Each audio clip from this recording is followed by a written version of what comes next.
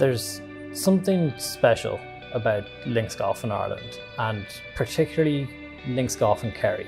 Part of it is to do with the size of the dunes we have here. It's not as old as Scotland, which has a, a more classic feel to it in terms of layouts, but um, our dunes are bigger.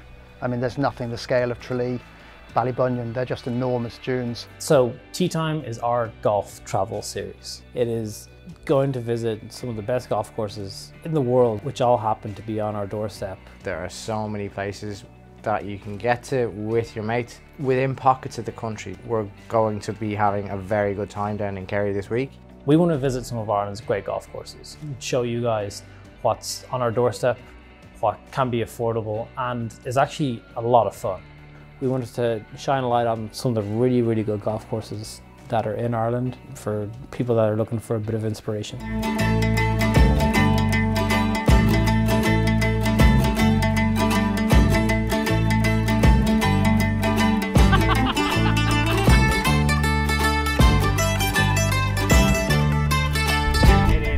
Feeling the grooves in anticipation of blading this across the green, you know.